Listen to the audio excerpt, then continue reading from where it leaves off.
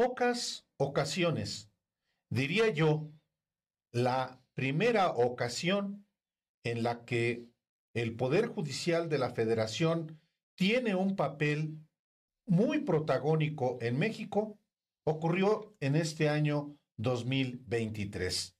Bueno, tomaron hasta la calle los trabajadores, no los privilegiados, no los ministros de la Suprema Corte, no los magistrados de los tribunales del país. No, los trabajadores, precisamente para defender privilegios. No hay antecedente.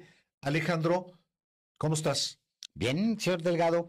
Sí, tal cual como lo, lo, mencionas, gracias a todos por estar aquí en este espacio que hemos denominado 10 momentos, 10 momentos sobre 2023, que es una revisión de los 10 momentos más eh, sobresalientes de este año que se va hoy 18 eh, de diciembre, lunes 18 de, diciembre. Eh, recordamos justo cómo el Poder Judicial decidió tomar un papel protagónico, como decías Álvaro, eh, asumir un papel eh, protagónico y más que protagónico, incluso Álvaro, porque es un rol político, no es solamente, digamos, uno esperaría que el Poder Judicial en aras al compromiso que tiene con la sociedad, tuviera un gran papel protagónico en esta sociedad y, y, por las mejores causas. Pero para bien, es correcto, pero no es así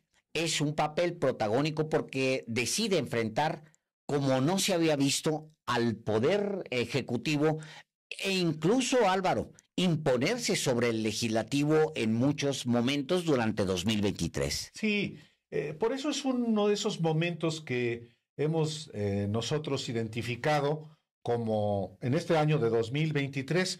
Y yo recuerdo, Alejandro, eh, cuando en diciembre de 1994, es decir, hace 29 años, Ernesto Cedillo, como una de sus primeras decisiones, yo diría la más importante decisión que tomó al inicio de su gobierno, fue, pues, prácticamente un golpe de Estado, porque diluyó, eh, desapareció eh, aniquiló el Poder Judicial, la Suprema Corte de Justicia de la Nación, que la redujo eh, en los 26 a 11 ministros del Pleno de la Suprema Corte.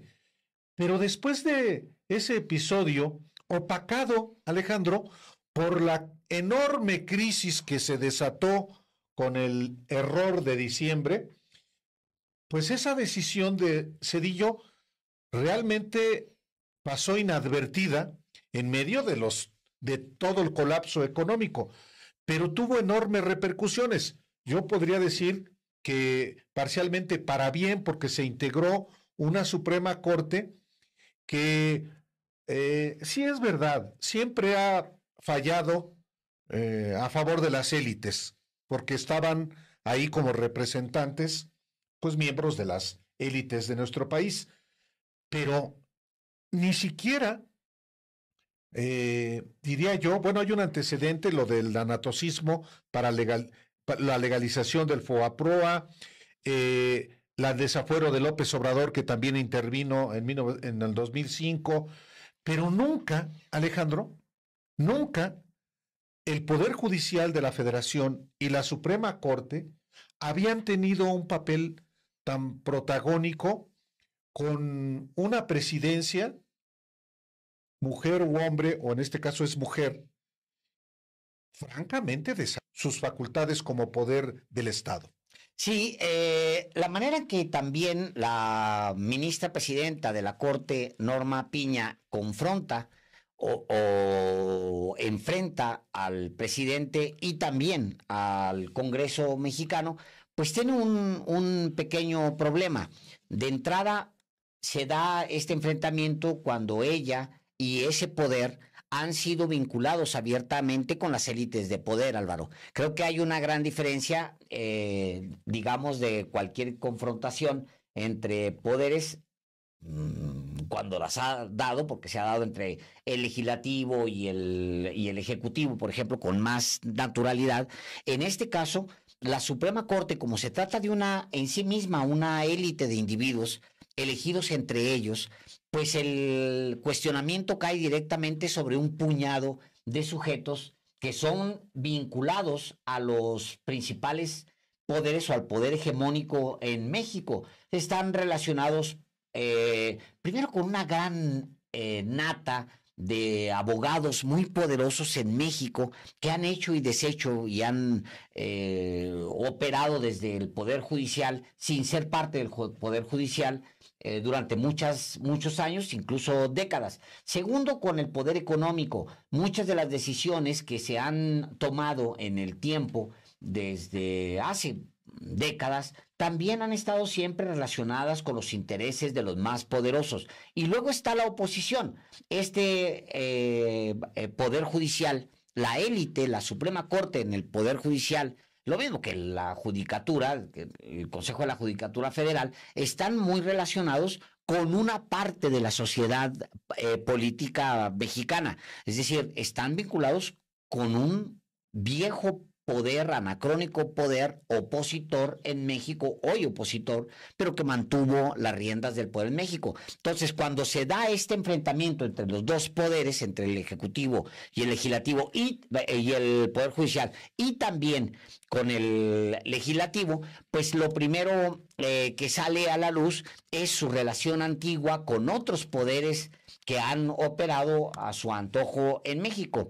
Hay distintos momentos, Álvaro, en este año de esta confrontación entre el Poder eh, eh, Judicial y el Ejecutivo en particular. Creo que los dos momentos más destacables o destacados serían eh, salvo tu mejor opinión, uno primero que es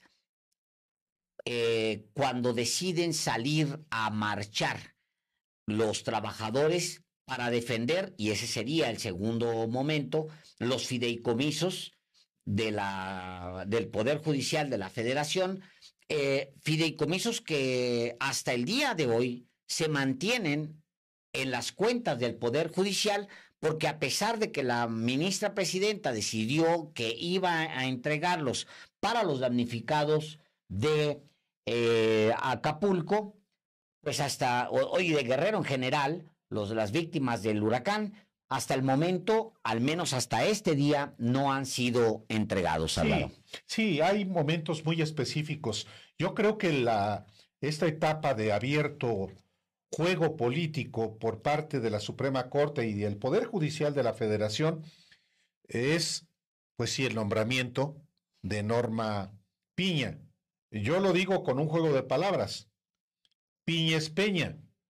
Y como lo hemos acreditado también aquí, pues es la ministra Norma Piña una propuesta de, de Enrique Peña Nieto al Senado que la avalan ahí el PRIAN.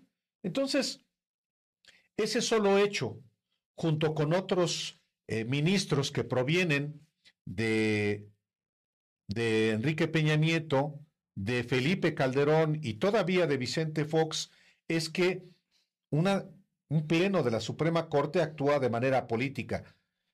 Y por eso también este año se generó pues una deliberación eh, en el sentido de que el Poder Judicial, como lo siguen diciendo hasta hoy los opositores, sufre un acoso, un asedio mm. por parte del gobierno del presidente Andrés Manuel López Obrador y de sus aliados en el legislativo también, pero al mismo tiempo, la respuesta que el propio presidente Andrés Manuel López Obrador y sus aliados han dado a este acerto es, pues es que estamos acabando con los privilegios, con los lujos, con los excesos a los que estaba acostumbrado al el poder judicial y eso evidentemente ha generado una, una reacción. eh, hay eh, a lo largo de este año de 2023 una, digamos, una, una línea conductual del Poder Judicial y particularmente de la Corte eh, muy articulada con la oposición del PRIAN, que López Obrador, en su propósito de generar una hegemonía con pensamiento único para instaurar en México una dictadura, ataca a todos los poderes. Ya no hay pluralismo. Digo, uno debe ver con eh, serenidad ese discurso porque es un discurso mentiroso, es un discurso falaz. Eh, hay, como en cualquier democracia constitucional, eh, equilibrio entre poderes y uno controla al otro. El poder judicial, el más opaco, el más cerrado a la sociedad, pues había sido efectivamente un poder eh, que para empezar, por el que nadie vota. Y esto, pues les había, los había hecho tener una comodidad eh, porque nadie los volteaba a ver, emitían sus sentencias sentencias muchas veces, la mayoría de las veces, y no es que todas, contrarios a los intereses de los mexicanos y muy proclives a las, a las élites. Hoy, este año de manera particular de 2023, el Poder Judicial ha sido colocado en el escrutinio público, tanto que efectivamente, Alejandro, han tenido que salir a la calle, bueno, los trabajadores, es correcto. Bueno, hay una, un tema, digamos, eh, sobre el que se parte en este año, pero también los años en los que ha gobernado la izquierda en el gobierno federal. Hay algunas líneas muy claras en el discurso para confrontar al Poder Judicial, pero sobre todo para decirle a la sociedad que es necesario que este poder eh, sea evaluado, modificado y que transite hacia un mejor este, momento, digamos, por lo menos. Eh, recordemos que Arturo Saldívar, cuando era presidente de la, ministro presidente de la Suprema Corte de Justicia, había prometido una reforma que no se dio, una reforma que partía de la idea misma de que el Poder Judicial la necesitaba. ¿Por qué necesitaba el Poder Judicial? Una reforma de gran calado que Arturo Saldívar no logra consolidar y que es la que el presidente pretende impulsar a partir del plan C en el último momento de su administración. Bueno, porque además de los vicios, es decir, de los, de, los vicios mencionados hasta ahorita, como por ejemplo sus vínculos con las élites económicas, con las élites de poder, las decisiones tomadas, etcétera, también se le ha señalado por ser un poder opaco. No hay quien audite realmente al Poder Judicial. Hay un órgano que se creó justo con la reforma de Ernesto Cedillo, que es el Consejo de la Judicatura, pero el Consejo de la Judicatura es dirigido al mismo tiempo por los mismos que son la cabeza del Poder Judicial. Entonces, la falta de transparencia le ha permitido al Poder Judicial ser un poder no solamente opaco, sino también abusivo. Y eh, mencionaría un par de, temas. Por ejemplo, en el corazón de la discusión de este año estaba el poder, los fideicomisos. Y la argumentación con el que la oposición defendió los fideicomisos era que se atentaba contra la independencia del Poder Judicial en la medida en el que el gobierno tocaba estos 12 fideicomisos creados más o menos en, bueno, los últimos años a partir de, la, de, esta reforma. Bueno, eso eh, eh, en realidad es una mentira de fondo, porque el, el, Poder Judicial no depende de los fideicomisos, no depende en su ejercicio diario de los fideicomisos. El Poder Judicial tiene una partida presupuestal asignada y desde el presupuesto de egresos de la federación que cumple con todas las necesidades del poder judicial. A propuesta de ellos mismos, porque además son los que elaboran su presupuesto y luego lo llevan al, legislativo. al, legislativo.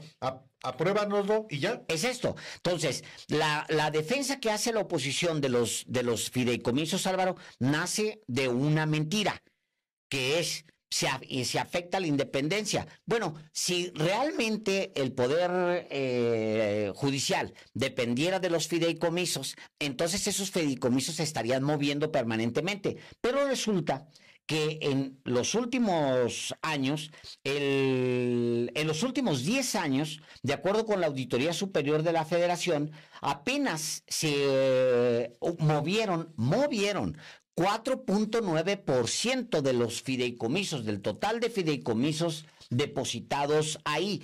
¿Por qué?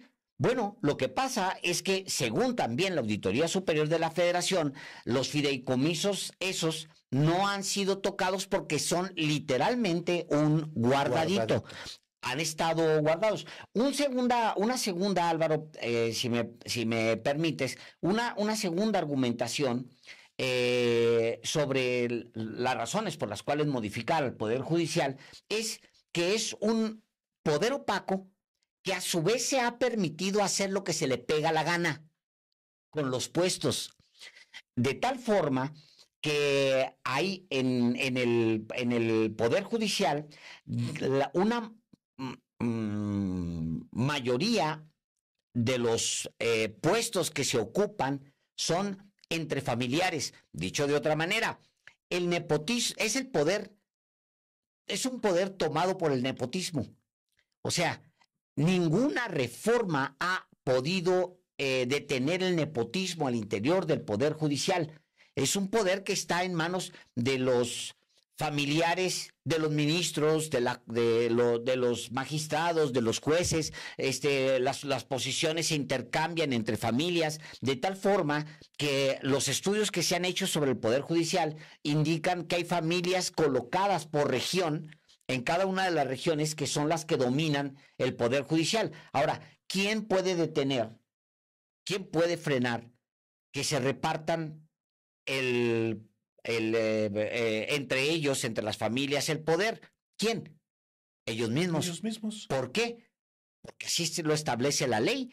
Simplemente, el único órgano que tienen para que así sea, para, para vigilarlos es el Consejo de la Judicatura. ¿Quién encabeza el Consejo de la Judicatura? Norma Piña. ¿Quién es Norma Piña? A su vez, el Poder eh, Judicial. Ella representa al Poder Judicial, es la presidenta de la Suprema Corte. Entonces, ahí mismo hay un segundo problema por el cual el gobierno de México ha dicho, oigan, espérenme, este, se tiene que analizar todo esto, no podemos seguir cargando con este monstruo. Y pondría un tercer tema, Álvaro, también, eh, de las razones por que llevaron al Poder Ejecutivo a, enfrentar este poder, que no es fácil de enfrentar porque se trata de un poder eh, que tiene unas ramificaciones en todo el país y tiene un ejercicio presupuestal enorme.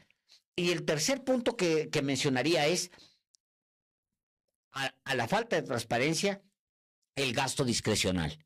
De tal manera es el gasto discrecional que se ve, de acuerdo con la que han publicado el mismo, sin embargo, mm, se pagan en mm, privilegios las cosas más inverosímiles. Desde yoga, les pagamos a los, a los, ministros, a los magistrados, a los jueces, les pagamos cursos de, este, de, tontería y media que no, que, que, que, no tendríamos por qué pagarles. O sea, no solamente son poco transparentes, sino que está probado que ejercen el presupuesto a como se les antoja, alimentando siempre esta idea de que es un poder de privilegios. Y que cualquier cuestionamiento o un intento para que eso cambie se interpreta como un atentado a la autonomía y la, independencia del Poder Judicial. Todo lo que toque o pretenda por lo menos mínimamente cambiar es tomado efectivamente como una interferencia indebida.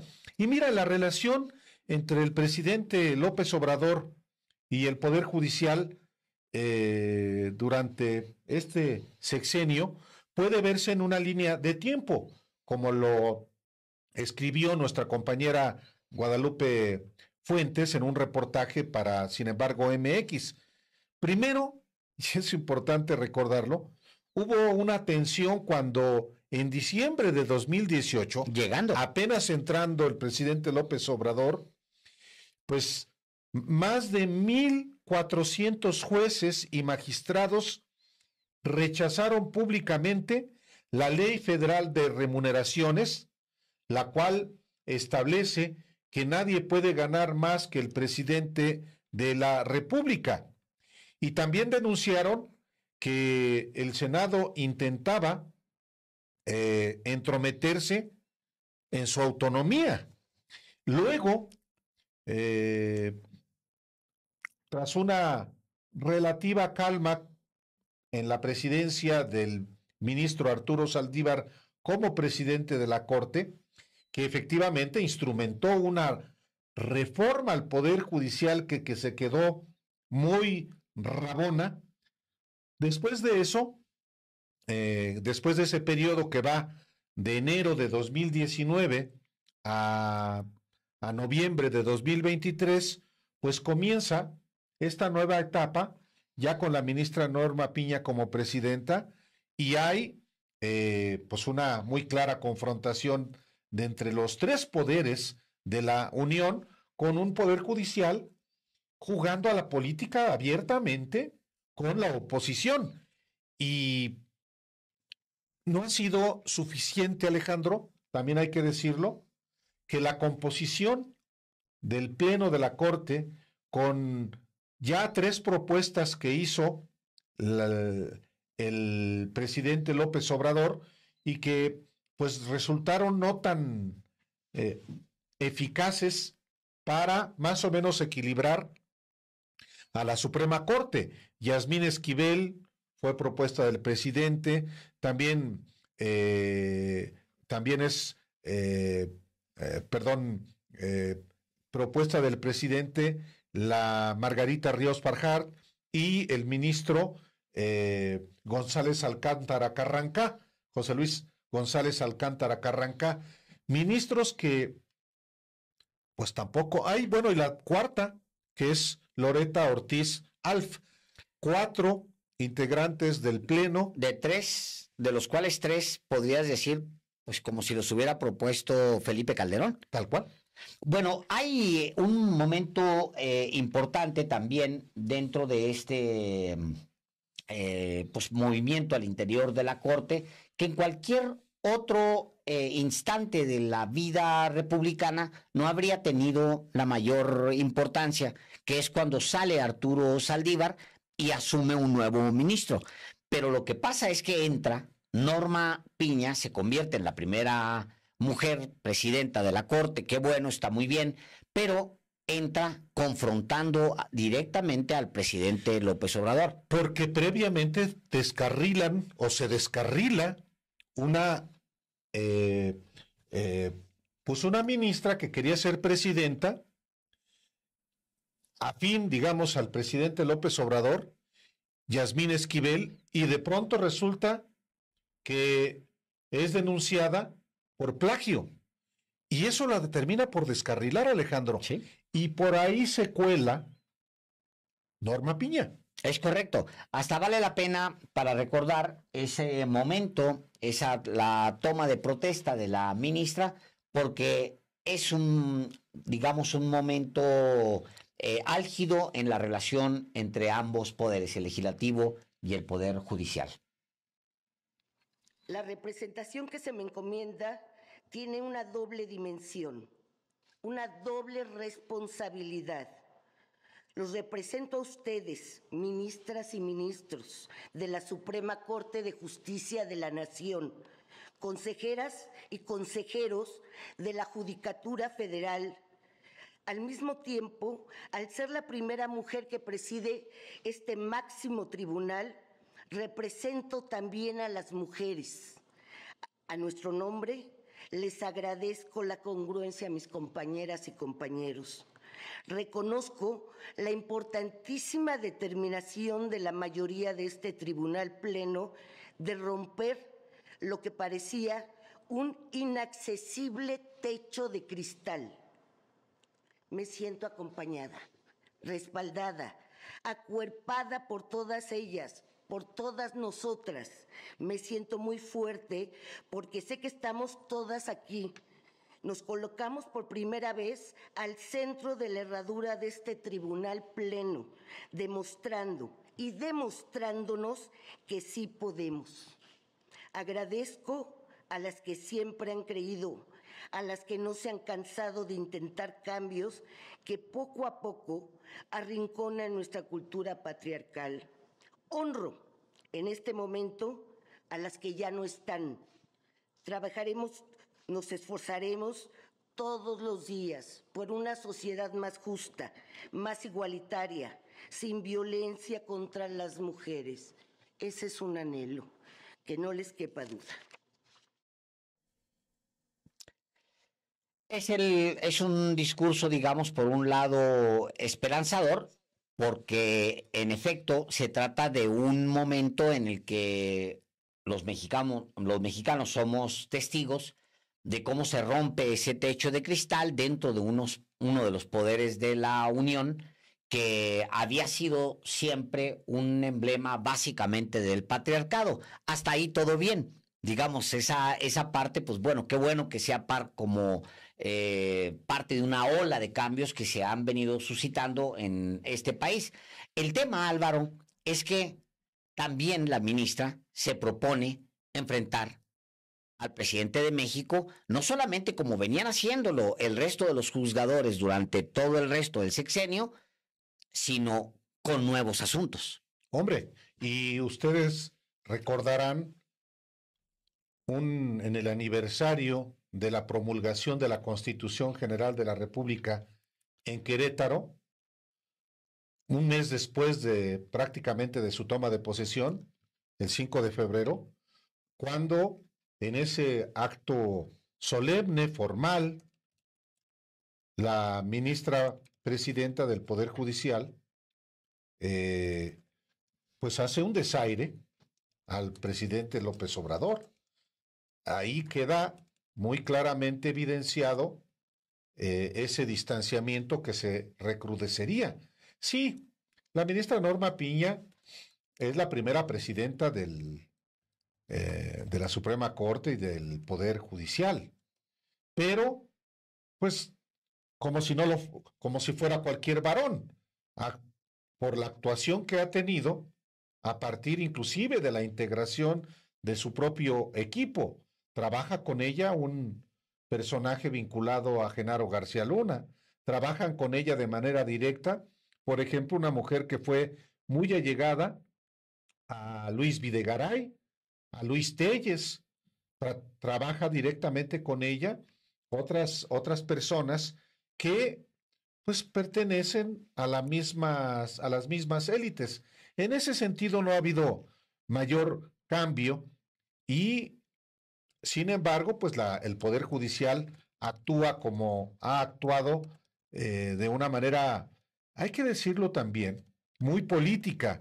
Hay fallos en los que el Poder Judicial, eh, la propia Suprema Corte de Justicia, a través de jueces, a través de magistrados, han favorecido, bueno, a personajes, a personajes muy, muy prominentes del, del régimen prianista.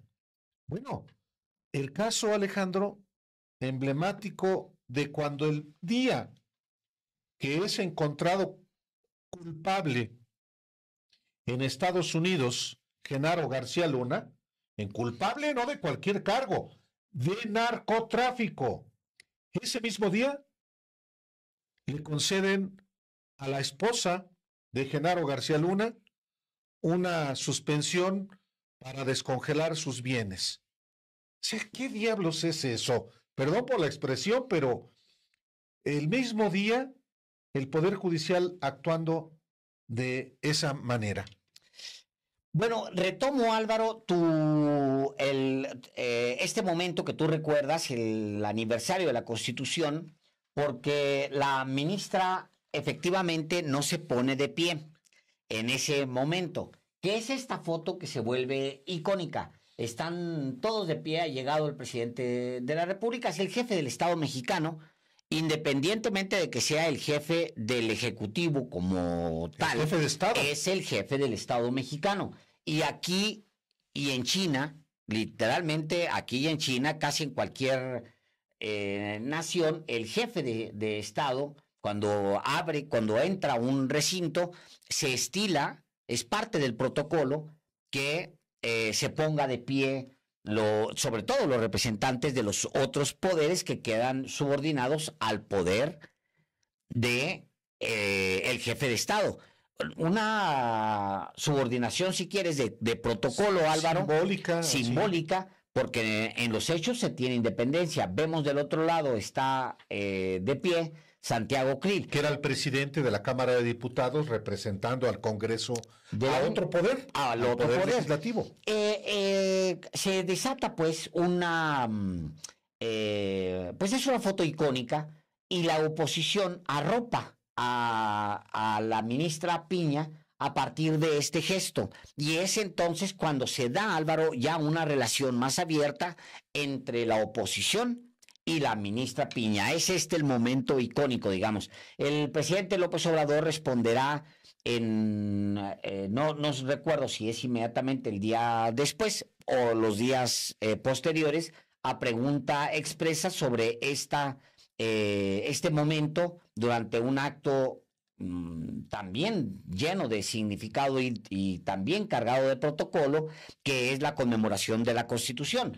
Eh, se le pregunta a, a él sobre por qué la ministra no se ha puesto de pie, qué es lo que él considera, y él responde, ¿cuándo se había visto que se quedara sentado el presidente de la Corte en un acto así?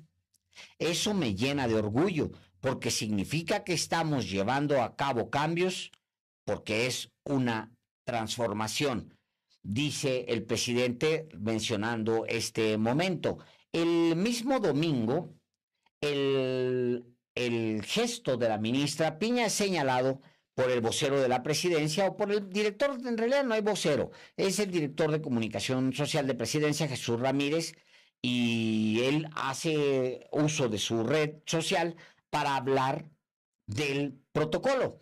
Dice, en el acto del 106 aniversario de la Constitución mexicana, fuimos testigos de, la, testigos de la vitalidad de nuestras instituciones con un debate de ideas entre los representantes de los tres poderes de la Unión. Resulta desafortunado que no todos respetamos el protocolo de la ceremonia. Esto en referencia, él comparte esta justamente imagen que le pasábamos hace un momento porque... eh, esta es la foto. Él la comparte porque sí es un momento también icónico en la relación entre López Obrador y el Poder Judicial. Y déjame hacer otra observación, Alejandro. Eh, acabábamos de ver también un video, estábamos viendo un video en el que el presidente de la República habla con motivo efectivamente del ciento, eh, 123 aniversario, no, 106 Eh, aniversario. ciento, efectivamente, 106. Y está la ministra Norma Piña con los brazos cruzados. ¿Eso qué significa? Cerrada a, eh, a, a lo que está observando y es un comportamiento que se ha acentuado sobre todo después de que la oposición del PRIAN la ha prácticamente convertida en su Juana de Arco, una heroína de la oposición al frente del Poder Judicial. No les importa, porque finalmente se trata de ajustar cuentas con, con el gobierno y con el presidente de la República, si el Poder Judicial actúa de manera positiva o no. No, eso no les importa, porque en realidad se actúa a su favor como lo hemos visto en varios, en varios asuntos, con, con los suyos, incluyendo a Genaro García Luna, ¿no? Incluyendo a Juan Collado, el abogado de los, de los multimillonarios, de la élite del poder económico, o cómo, por ejemplo, actuó la Suprema Corte ante el caso del fiscal de Morelos, Uriel Carmona, que se acreditó que cometió delito este fiscal del estado de Morelos y la Suprema Corte lo ha protegido para para que eh, no se le sancione por eh, encubrir y desviar las eh, investigaciones de un homicidio.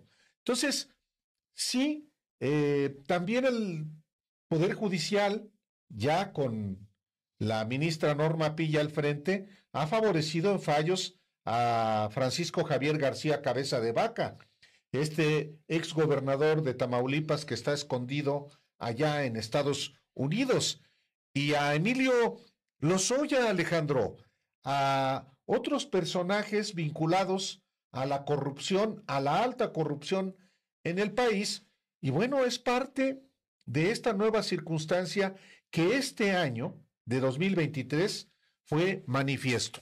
Sí, eh, ella tiene una oportunidad, la ministra Piña tiene la oportunidad de, de, decir, no entendí el protocolo, era, era nueva, acababa de asumir la presidencia, no era la primera vez que participaba yo en este acto del, de conmemoración de la Constitución, tenía muchas maneras de hablar sobre el protocolo, porque era justamente el protocolo, la interpretación de que ella se quedara sentada, como se plantea el, este, este momento de, inicio de distanciamiento entre los jefes de los dos poderes. Ella, sin embargo, decide mantenerse en eh, su posición y justifica el por qué no se ha parado. Ella dice, la independencia judicial no es un privilegio de los jueces, es el principio que garantiza una endeudada impartición de justicia para hacer efectiva las libertades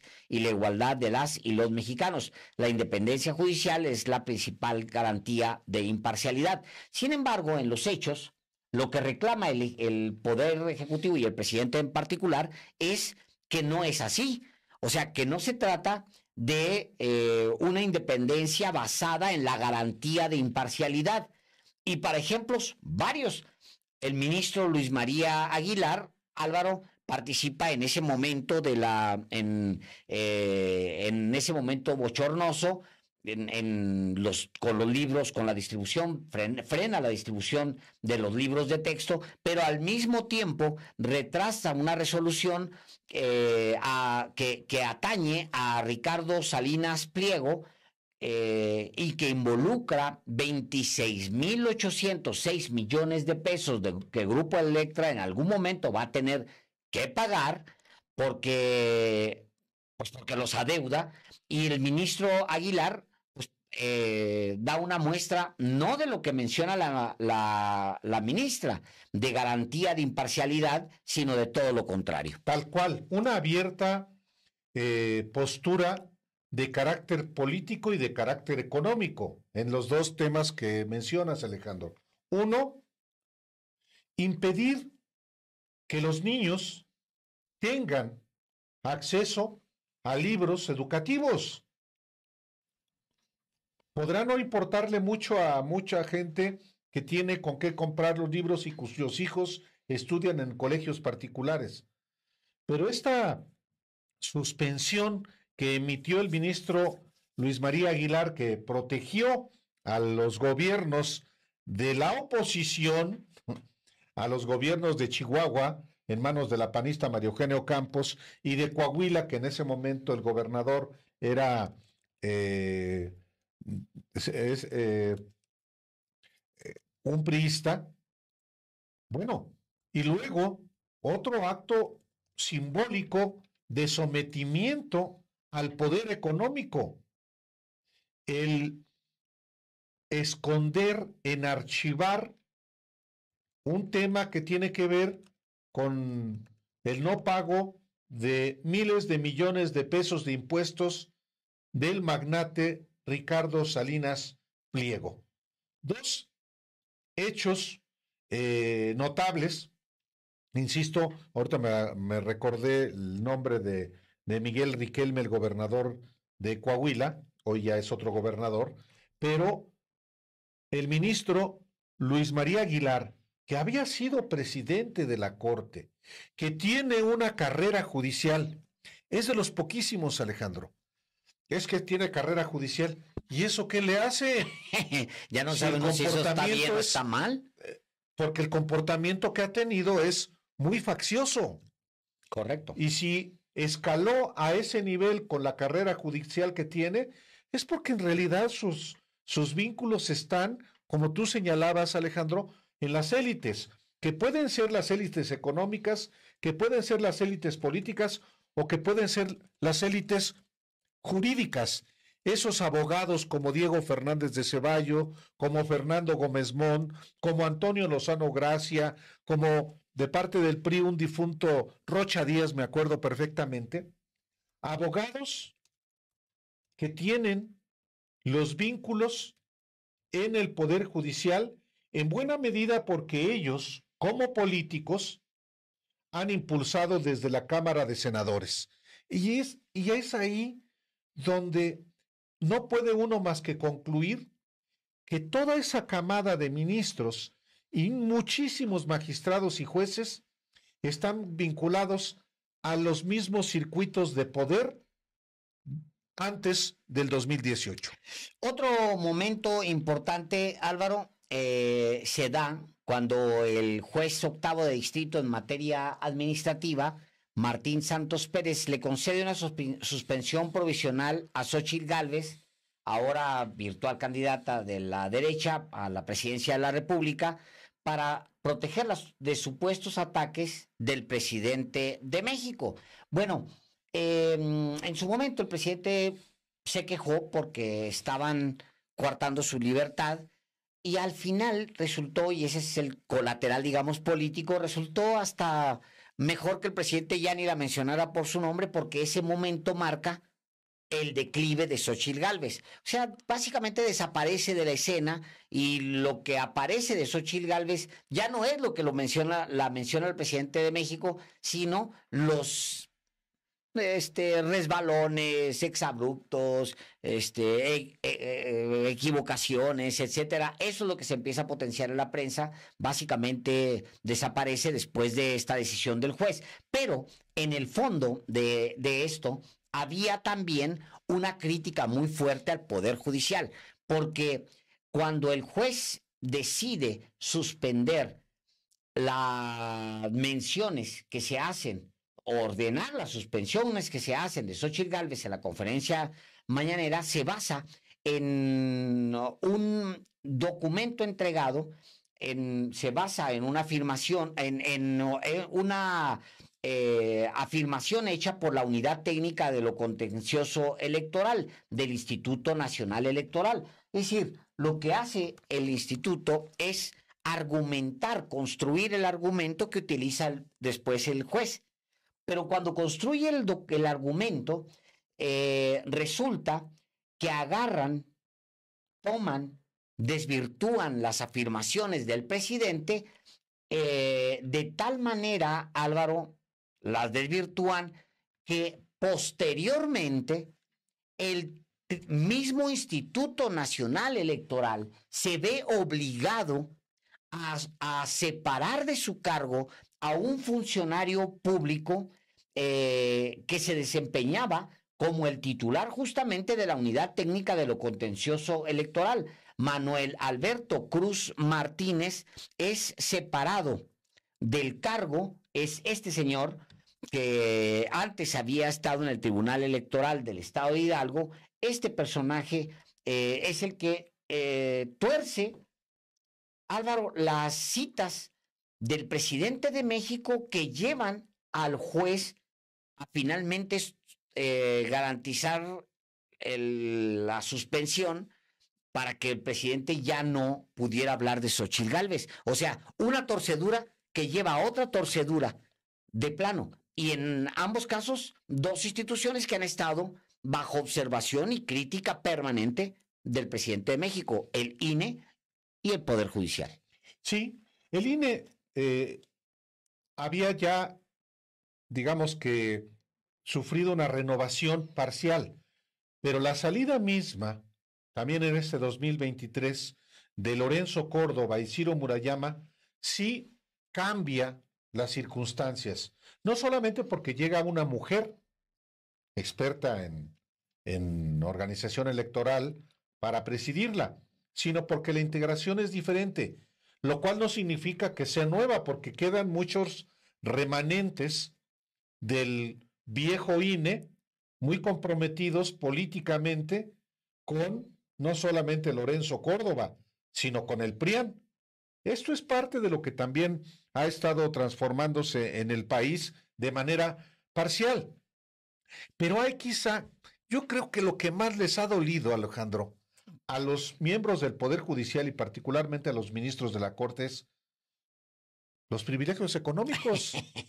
y, fíjate, eh, ciertamente este año uno de los momentos más eh, tremendos, tensos en la relación de López Obrador con, con el Poder Judicial fue en junio, cuando el presidente de México, a través de la Secretaría de Gobernación, envió un escrito a las ministras y a los ministros de la Corte para preguntarles por qué violan el artículo 127 de la Constitución que claramente establece que no puede ganar ningún servidor público como ellos más que el presidente de la República. Ah, escuchemos cómo lo dijo el presidente en junio de este año. De la Corte, hoy voy a enviar a través de la Secretaría de Gobernación. Quiero ver si es legal lo que están haciendo de violar la Constitución, de violar el artículo 127 de la Constitución. No, pero estuve analizando si teníamos nosotros alguna posibilidad de cuando menos recibir una explicación, que nos informen. ¿Por qué la Constitución establece que nadie debe ganar más que el presidente y ellos ganan cuatro veces más? Yo gano como 140, 150 mil pesos y ellos ganan 600 mil.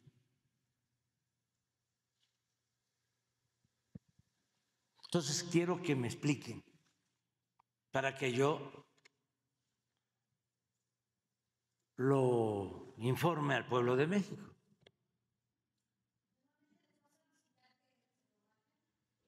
Es nada más que nos expliquen por qué ellos ganan cuatro veces más que el presidente, por qué violan la constitución, si es legal lo que están haciendo. Eso es lo que les voy a solicitar y espero respuesta. Si hay una respuesta desde la Suprema Corte, la hace el secretario general de Acuerdos, Rafael Coello Cetina, quien dice que simple y sencillamente los magistrados, los ministros, los jueces, no se pueden bajar el salario. La respuesta inmediata del presidente es, pues es una respuesta leguleya. Vamos a escucharlo. Era de esperarse una respuesta así, leguleya, porque es muy clara el artículo 127 de la Constitución. ¿Por qué no lo pones otra vez? y lo están violando los ministros de la Corte. Ahora, miren lo que tienen ellos.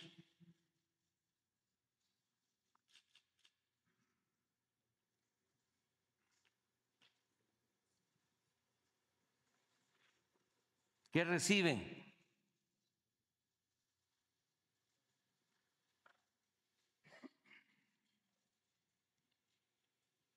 El sueldo es 297 mil mensuales.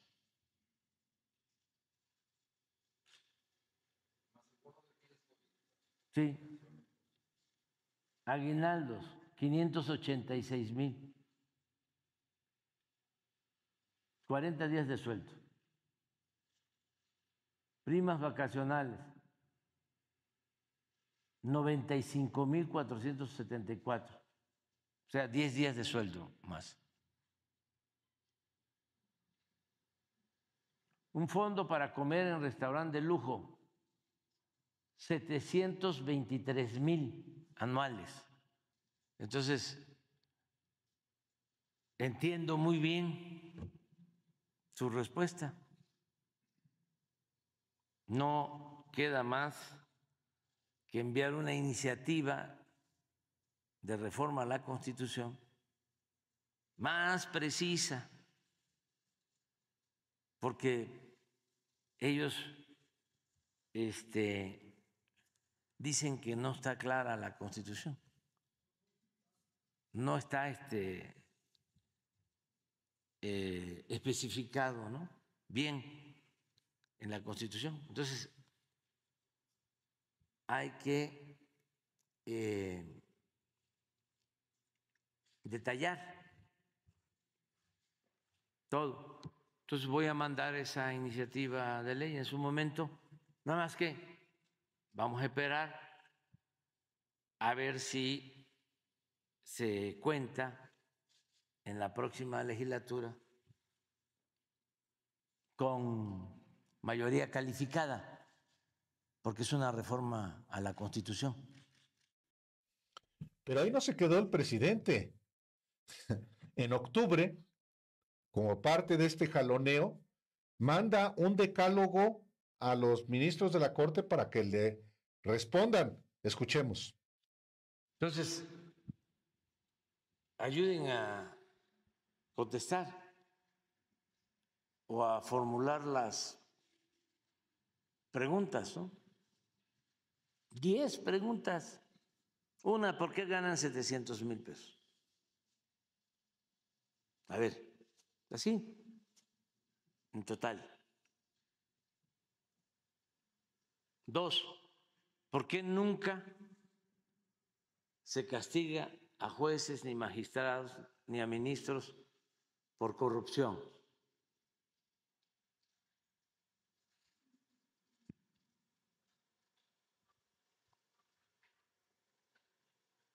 Tres, ¿por qué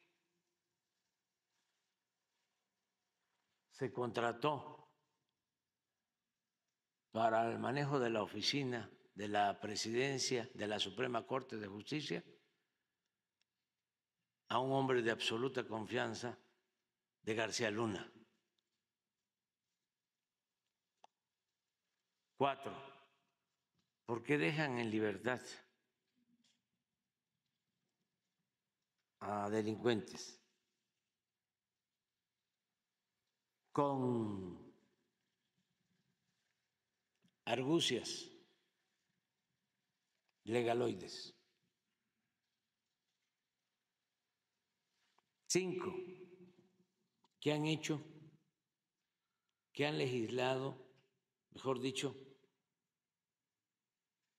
que han resuelto en favor de la mayoría del pueblo de México.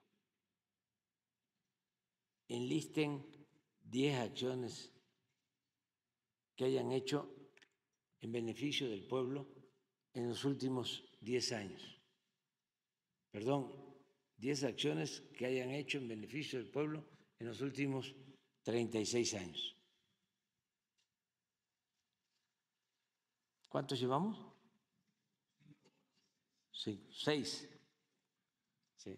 ¿Por qué no permitieron que se consultara al pueblo cuando se privatizó el petróleo? Siete. ¿Por qué no concedieron amparos cuando se privatizaron las pensiones de los trabajadores.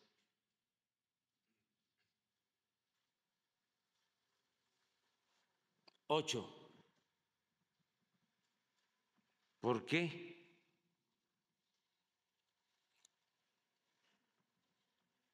No aceptaron castigar a los responsables del incendio de la guardería ABC. ¿Cuántos llevó? Nueve. ¿Por qué? Aceptaron, promovieron y apoyaron el desafuero de el actual presidente de la República cuando era jefe de gobierno.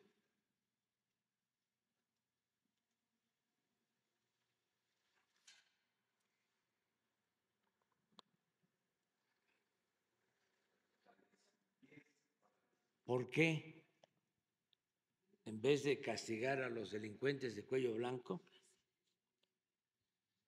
los dejan en libertad y les devuelven los bienes robados? como fue el caso de Raúl Salinas y otros. Fundamental, Álvaro, me parece a mí, para la discusión pública, dos eh, trabajos que publicamos en su momento en Sin embargo, .mx a propósito de esta confrontación entre los poderes de la Unión.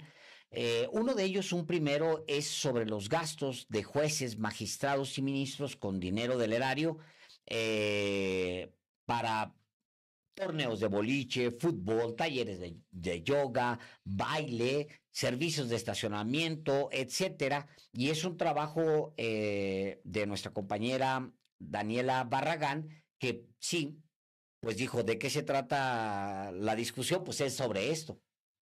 La Suprema Corte de Justicia de la Nación, que para 2024 recibirá un incremento en su presupuesto si el Congreso lo aprueba, ha gastado millones de pesos este año en contratos relacionados con torneos de boliche, fútbol, talleres de yoga, baile, servicios de estacionamiento, distintivos en plata y arrendamiento de vehículos para su personal, de acuerdo con una revisión a la Plataforma Nacional de Transparencia. La información alojada en la Plataforma Nacional de Transparencia muestra que en este 2023, desde la Suprema Corte, se ejercieron 67 contratos por licitación o invitación a cuando menos tres personas y 248 vía adjudicación directa, es decir, sin un concurso de por medio. En esta clasificación se encuentran gastos que desde el Poder Ejecutivo y Legislativo han calificado de superfluos e incluso la bancada de Morena en San Lázaro estudia un recorte al presupuesto asignado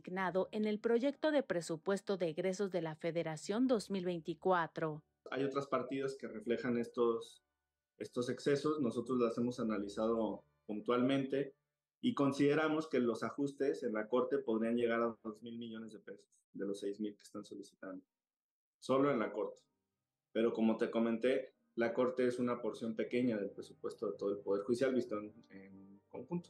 Muy onerosa, entre los gastos que la Suprema Corte ejerció este 2023 se encuentra un contrato vía adjudicación directa para un torneo de boliche por un monto de 87.527 pesos pagados a la empresa Boliches Tlalpan. En otro contrato, clasificado en el rubro de actividades deportivas para el personal, la Suprema Corte pagó un monto de 182.352 pesos para un torneo de fútbol. En este contrato, se prohíbe al prestador de servicio hacer difusión del torneo en medios impresos o electrónicos, ni realizar inscripción de participantes externos, toda vez que es una actividad exclusiva para el personal de la Suprema Corte de Justicia de la Nación. La Suprema Corte también pagó para un taller de ritmos latinos un total de 33.023.68 pesos, mientras que para un taller de yoga pagó 33.408 pesos y para Tai Chi 29.074 pesos. Otro de los gastos que la Suprema Corte destina año con año en su presupuesto es el de servicios de estacionamiento para su personal, un gasto que ha sido criticado por legisladores, quienes argumentan que este servicio puede ser absorbido por el propio personal de la Corte. En un contrato otorgado vía adjudicación directa, el organismo pagó a la empresa Com Parking México un monto de 961.116.84 pesos por un periodo de 11 meses por el servicio prestado en el estacionamiento ubicado en República de El Salvador 42, Colonia Centro. En los contratos vía licitación o invitación a cuando menos tres personas, es decir, los otorgados a empresas que concursaron para ganarlos, la Suprema Corte también reportó gastos que fueron cuestionados. Por ejemplo, en un contrato para la prestación del servicio de arrendamiento de vehículos terrestres, el Poder Judicial, el cual incluye a la Suprema Corte, pagó 95 millones 477 mil 386.72 pesos a la empresa Integra para un periodo de 47 meses. La bancada de Morena considera que estos gastos reportados por la Suprema Corte en 2023 y los recursos que están solicitando en 2024 para gastos similares pueden omitirse y están analizando un ajuste a su presupuesto.